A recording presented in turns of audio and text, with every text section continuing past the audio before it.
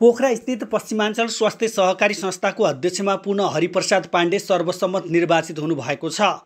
सहकारीको उपाध्यक्षमा अर्जुन गेवाली सचिवमा मिलन श्रेष्ठ सहसचिवमा महेश गेवाली र कोषाध्यक्षमा कृष्णप्रसाद बस्याल रहनु भएको छ।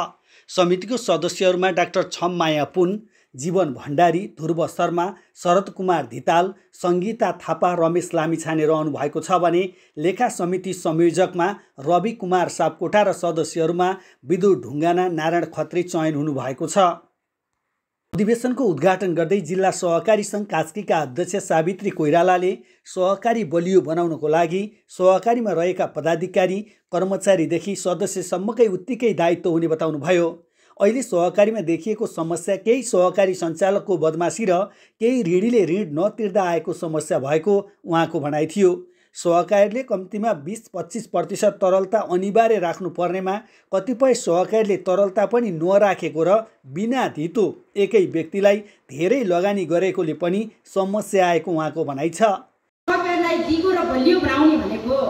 पुरै सञ्चालक एकले मात्र सक्दैन। अध्यक्ष एकले मात्र सक्दैन सञ्चालकले सक्दैन लेखा समितिले सक्दैन विभिन्न उपसमितिले मात्र सक्दैन। एउटा व्यवस्थापक कर्मचारी मात्र सक्दैन सेयर सदस्यले पनि सक्दैन। यो सबै टिम मिल्यो भने मात्र सहकारीले प्रगतिको पटो मार्दछ त्यसकारण यहाँ सबै यो जुन अहिलेको यो जटिलता अवस्था छ यो अवस्थामा हामीले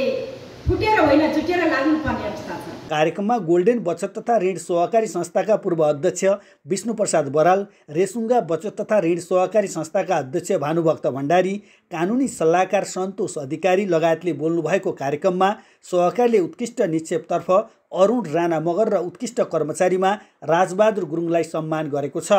हरिप्रसाद पाण्डेको अध्यक्षतामा भएको कार्यक्रमको सञ्चालन सहसचिव महेश गेवालीले गर्नुभएको थियो।